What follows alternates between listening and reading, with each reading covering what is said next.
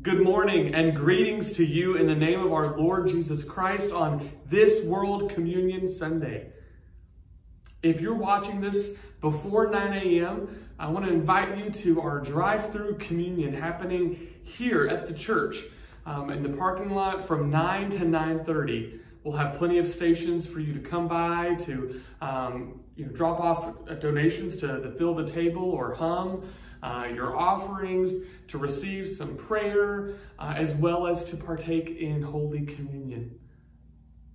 If you're watching this after 9 or 9.30 on Sunday morning, um, we will have another offering on a Tuesday evening later in the month. So stay tuned on that. But this is worship. This is how we're worshiping right now. So um, let this be a sacred time for you. Let this be an, a moment, an avenue for God to reach your heart today. I want to offer a prayer written not by me, but by Jan Richardson, who I've used before for many prayers and blessings. She's an amazing writer.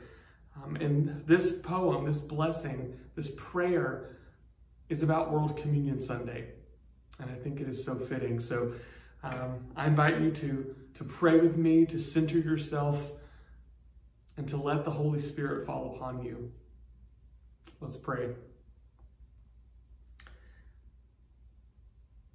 And the table will be wide, and the welcome will be wide, and the arms will open wide to gather us in and our hearts will open wide to receive.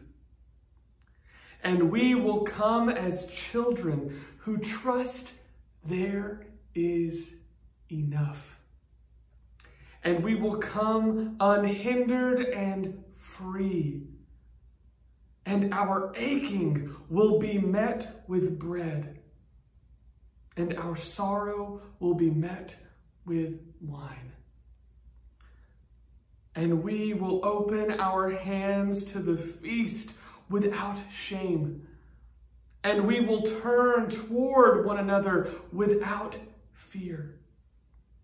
And we will give up our appetite for despair. And we will taste and know of delight. And we will become bread for a hungering world. And we will become drink for those who thirst. And the blessed will become the blessing. And everywhere will be the feast.